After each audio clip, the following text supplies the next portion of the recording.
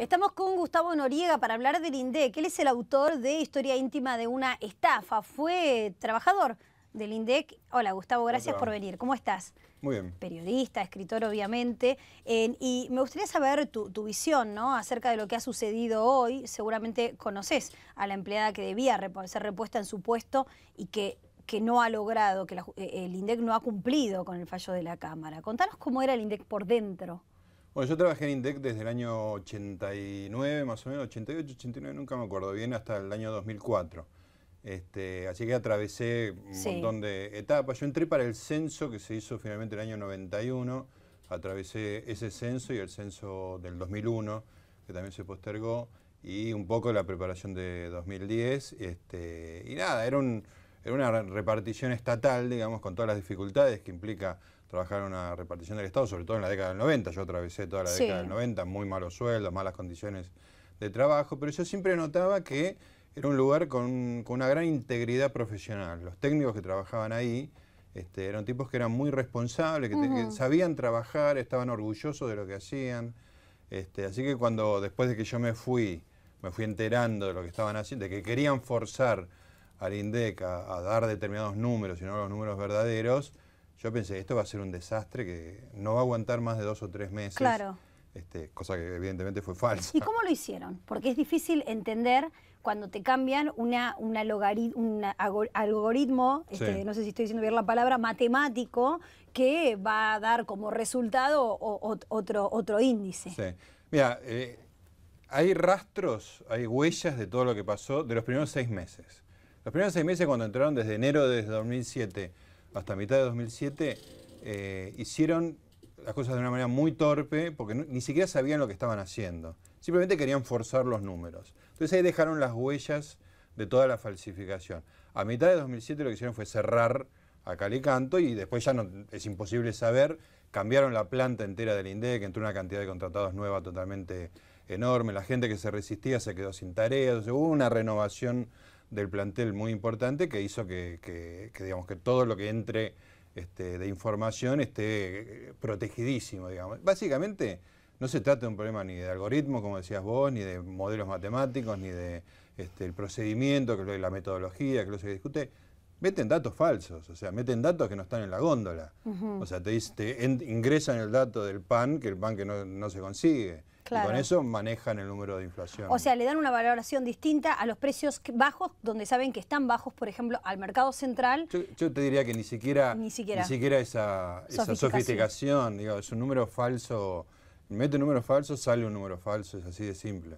Eh, Gustavo, ¿conocías a Marcela Almeida? Sí, claro, Marcela fue... Ella eh, empezó a armar un IPC nacional eh, en, la época de la intervención, cuando antes de la intervención, este, o sea, un, índice que no fuera solamente Gran Buenos Aires y Capital, como es el que da el INDEC habitualmente, sino coordinando con todas las provincias, dar un número nacional. Y fue una de las heroínas que está en mi libro sobre el INDEC, que es una de las personas que da testimonio y que realmente es una de las heroínas porque se negó a validar esa falsificación y es una de las tantas que quedó sin trabajo y es una de las tantas que ganó el juicio laboral. Todos los juicios laborales que hicieron los trabajadores del INDEC o que el INDEC le hizo a los trabajadores, todos lo ganaron los trabajadores. Este, Luciano Belforte, Marcela Almeida, eh, hay otros ejemplos, hay como cuatro o cinco, todos los perdió el INDEC. Todos. Y este es otro caso. Es muy impresionante de todas maneras que un instituto del Estado no le haga caso a un fallo de la Cámara. O sea, realmente es como eh, el absurdo en su máximo eh, sentido, ¿no? Sí, no es un caso aislado. Este, digo, el gobierno se da el lujo de desobedecer fallos de la Suprema Corte, digamos, con el caso de perfil y la publicidad oficial, así que es una, te diría que es una línea de conducta. En el caso de INDEC no tienen forma de habilitar la verdad, la verdad no puede entrar al INDEC porque se rescabraja un edificio inmenso de mentiras que implica eh, pagos a gente que tiene bonos atados a la inflación, se, legitima una cantidad de pobreza que no es la que se dice oficialmente. O sea, abrir las puertas del INDEC, no a Marcela Almeida, a la verdad, implica que se caiga un edificio entero de mentiras. ¿no? Entonces, a, todas esas cerrazones le tenés que sumar la cerrazón a personas individuales, como es el caso de Marcela. ¿Crees que por la presión del Fondo Monetario y luego de la visita de Lorenzino este, a la presidenta, a la directora general del fondo,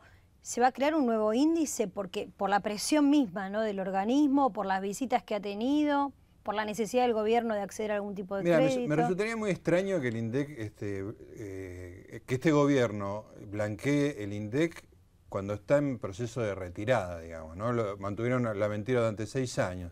Se están por ir y en ese momento van a... Este, a menos que haya una necesidad de pedir un crédito, yo, pero pero no, me, parece como una cosa muy de muy largo alcance y esto siempre es este, corto plazo, corto plazo, como ha sido a lo largo de todo este tiempo. Para mí es imposible, digamos, ¿no? Porque sería decir que en Argentina hay más de un 20% de pobres.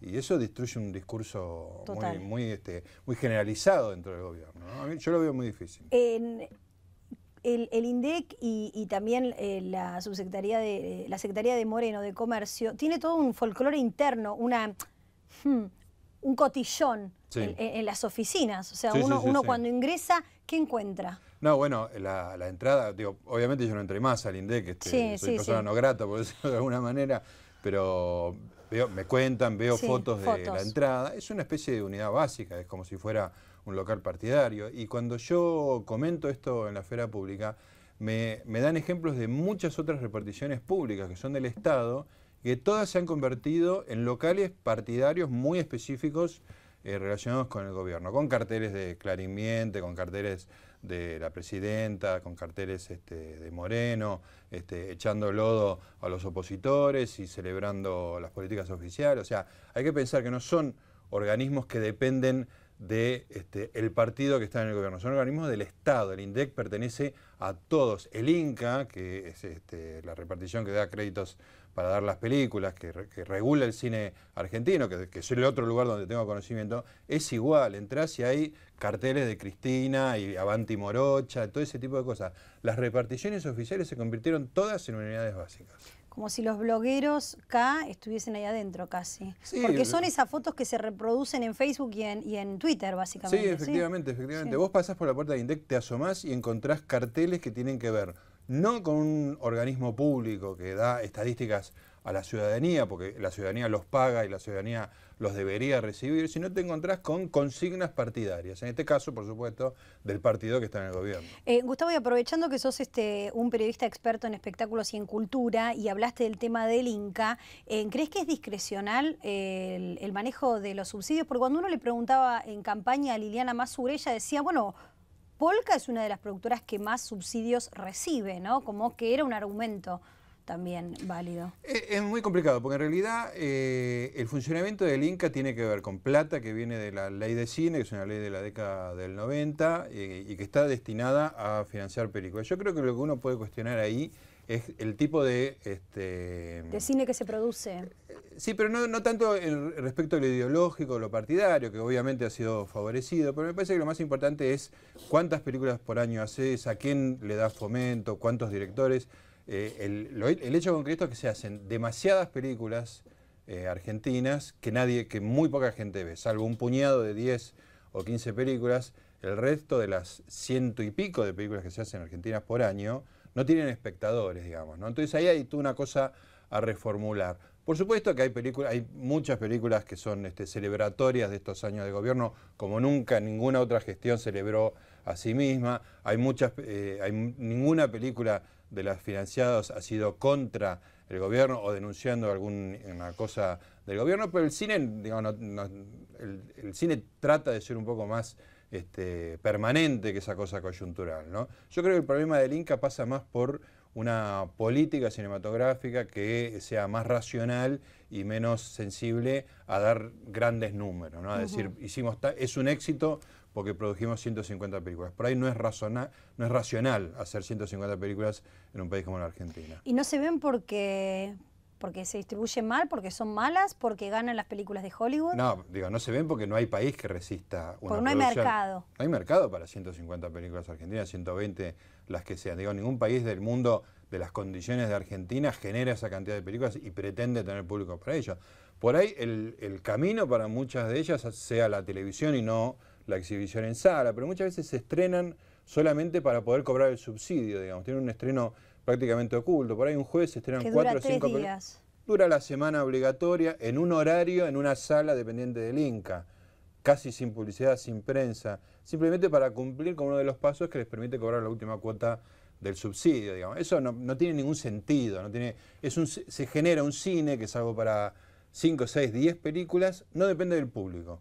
Es absolutamente independiente del público. Da exactamente lo mismo que la vea una persona o 100.000 personas. Da lo mismo porque van a cobrar la misma plata. Entonces, digamos, se hace a espaldas de la gente que debería ser el depositario de todo ese bagaje cultural. ¿no? Gustavo, ¿cómo observas este, el posicionamiento y los debates? Son debates, bueno, esa es mi opinión, vacíos ¿no? de contenidos, los que hay entre las, las figuras de, de la cultura y del espectáculo sobre de qué lado está cada uno, ¿no? En general, no hay un debate sobre políticas públicas o sobre el rol del Estado. Es como prácticamente, eh, vos sos este, eh, vos sos lo otro, pero, pero son figuras importantes de nuestro espectáculo las que están dando, las que se están, están debatiendo en ese sentido. Sí, básicamente se trata de adhesión o no al gobierno, no, no pasa por ningún otro lado. Se ha generado... le pregunta, no sé, a, a Carla Conte, a Florencia Peña, ¿y por qué? ¿Qué es lo que apoyas? Bueno, y están, por supuesto, las cinco medidas que apoyamos todos. La, UH, el matrimonio igualitario y su ruta, digamos. Creo que hasta eh, Macri las apoya. Sí, absolutamente, son, son, medidas de consenso, claro, de hecho, pero me parece que se ha generado como una especie de, de núcleo dentro del mundo del arte, digamos, los cantantes sobre todo, este, que, es simplemente un, núcleo de adhesión al gobierno, digamos, ¿no? que ha renunciado a todo pensamiento crítico, a una mirada crítica que es básicamente algo que tiene que tener el artista, digamos. ¿no? El artista oficial es una figura eh, verdaderamente lamentable, digamos. Y lo que se ha generado en la Argentina es el artista oficial, el artista que adhiere al gobierno, haga lo que haga el gobierno. y eso es lo que tenemos acá en la Argentina, una serie de personas que este, hacen su arte, que se han, sido beneficiadas, digamos, por los últimos años, porque han tenido trabajo, uno puede adjudicarlo a muchas cosas, pero una de las cosas más importantes es que tienen contratos relacionados con el, gobierno. Es extraño ver, eh, es extraño ver yo me acuerdo cuando fue eh, la visita 678, eh, después de la muerte de Néstor Kirchner, yo no sabía que ahí iba a haber tantas figuras, ¿no? Pensé que como había sido conductora, me invitaban por eso, ¿no? Entonces cuando yo llegué, eh, además de bueno la, escena, un lunch que había previo al momento en el que todo el mundo lloraba, del que no participé. Luego vi toda la, tribuna y, pude advertir que la única persona que no tenía un contrato con el Estado era yo. Entonces me sentí como, como en un circo, ¿no? Prácticamente, aunque todo el mundo puede tener sus sentimientos, su dolor, su adhesión. Pero es curioso que, no haya una sola persona que no haya entrado dentro del sistema sí, por eso te digo, se generó un, un circuito de plata que tiene que ver con, con este los directores de cine, los cantantes, los músicos, los, eh, los, actores, ellos han entrado en un circuito y digamos, de hecho, digo, yo no digo que ha sido una, una precondición, pero el resultado es que han renunciado a todo pensamiento crítico. No se permiten la menor distancia crítica respecto del gobierno. Y eso genera, digamos, lo que yo llamo el artista oficial, digamos, que es una figura a lo largo de la historia, una figura bastante lamentable. En, ¿cómo, ¿Cómo se daba en otros momentos de la historia, con otros gobiernos? Porque siempre hubo periodistas, artistas que adherían a un proyecto político y otros que no. ¿Cuál es la diferencia entre esos momentos y este? Bueno, eh, que, el grueso del trabajo depende del Estado. Eso es lo que me parece que ha cambiado, la, ecuación que ha cambiado. Los artistas no venden más discos por un problema de cambio en la estructura del negocio, digamos. Los discos no se venden más, pasa por otro lado. Pasa por las actuaciones. Por los shows. Claro, exactamente. Y el grueso de los shows ahora pasa por contrataciones del Estado. Este, es muy, son, salvo los festivales grandes, digamos, que están esponsoreados, el, trabajo cotidiano de un artista a lo largo de un año tiene que ver con la municipalidad de tal lugar, la intendencia de tal lugar, el gobierno de la provincia de Buenos Aires, el acto del gobierno nacional, tiene que ver con eso. Entonces el grueso del circuito de plata tiene que ver con el Estado. Todos dependen mucho más que en otras épocas, en las cuales vos sabías, digamos, que Brandoni siempre fue radical, fue un militante radical, este, y, claro, exactamente, pero digamos, y, los eh, cantantes y artistas peronistas vos sabías cuáles eran.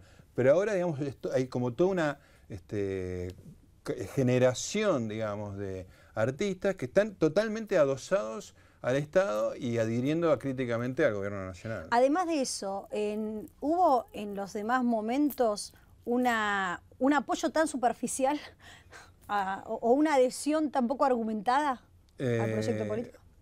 Hay, que repasar. O había bueno, otro tipo de. O había otro, es fácil pensar. El menemismo no tuvo ningún apoyo de parte de la cultura. Sí. Este, salvo, digamos. Este, ni eh, apoyó la cultura, ni la cultura. Sí, ojo, ojo que la ley de cine es menemista. Ah. La ley de cine la, es, fue durante el periodo de Caballo y estaba Marvis en el Instituto de Cine. La, ley más proteccionista de la cultura argentina, que es la ley de cine, eh, se hizo durante el gobierno de Menem. Es un dato este, bastante interesante. Por supuesto, este, muchos directores este, no declaraban su amor por el menemismo, pero fueron usufructuarios de eso. Digo, existe cine gracias a, esa ley, si no, no habría cine en la Argentina. ser menemista estaba mal visto, nadie, nadie era menemista. En la época de Alfonsín había por ahí un, grupo de gente que, apoyaba, digamos, pero no, no tenía tanto peso en la discusión pública tenía el peso por ahí que, ameritaba, digamos, ¿no? Este lugar marginal, importante, pero marginal dentro de la discusión pública. Eh, ¿Crees que estos artistas oficialistas o esta discusión va a trascender al kirchnerismo o a la gestión de Cristina Kirchner? La verdad que me da muchísima curiosidad saberlo, ¿no? no sé si tengo una buena respuesta para darte, porque no sé qué va a pasar cuando termine todo esto con, con todo ese ese grupo, digamos, ¿no? Porque no, sabemos qué va a venir, cómo se van a usar, esa dependencia extrema que tienen ahora el arte, digamos, por llamarlo de alguna manera, con el Estado, digamos, cómo se va a manejar en, un próximo, en una próxima administración, va a ser parecido a esto, va a haber otro elenco de acríticos, este, qué pasa con los acríticos del pasado, se van a reconvertir, la verdad que no tengo respuestas para eso. Bueno, entonces no te pregunto más. No, no, podés preguntar otra cosa. Fue muy interesante, fue muy interesante tenerte, Gustavo. Gracias. Este, y, recordamos, para quienes estén interesados ¿no? en la historia de, del INDEC, el libro, no, como no me lo trajiste de regalo, oh, no, tengo, no tengo la editorial, Sí, es de Sudamericana. De Sudamericana, ¿eh? este, la historia en, por dentro del INDEC. Muchas gracias por haber venido. Nosotros mañana a la una de la tarde nos reencontramos. Juan Micheli no, no lo veo cerca, pero debe estar entrando. Ahí está haciendo su ingreso triunfal. Se va a quedar por la próxima hora aquí en Infobae TV. Tengan muy buenas tardes y mañana nos vemos.